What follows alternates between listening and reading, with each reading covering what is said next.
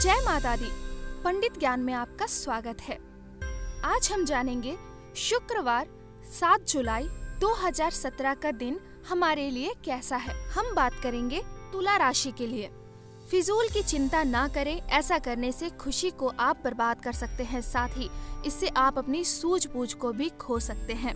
आप हमेशा अपने आप को इनक्रेज करें और पॉजिटिव एनर्जी दें। नकारात्मक ख्याल कभी ना लाएँ। फिजूल के खर्चों से बचें। बच्चे अपने फ्यूचर प्लानिंग पर ध्यान ना देकर फिजूल की चीज़ों पर टाइम एक्सपेंड करके आपको निराश कर सकते हैं।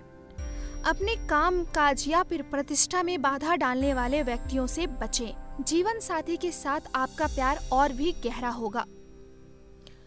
उपाय, सफ़ेद कपड़ों को ज़्यादा से ज़्यादा पहने। ऐसा करने से आपका स्वास्थ्य हमेशा सही रहेगा। कुल मिलाकर आपका दिन ठीक है। स्वास्थ्य के लिए आपको सचेत रहने की ज़रूरत है। धन संपत्ति कुल मिलाकर ठीक है। परिवार के लिए भी आपको थोड़ी चिंता करनी पड़ सकती है। प्रेम आदि में आपके लिए आज का दिन बहुत ही शुभ है। व्यवसाय के लिए आपको थोड़ा चिंता करना पड़ सकता है। वैवाहिक जीवन कुल मिलाकर ठीक रहेगा। अपना राशि फल जानने के लिए कृपया हमारे चैनल पंडित ज्ञान को सब्सक्राइब करें। जय माता दी।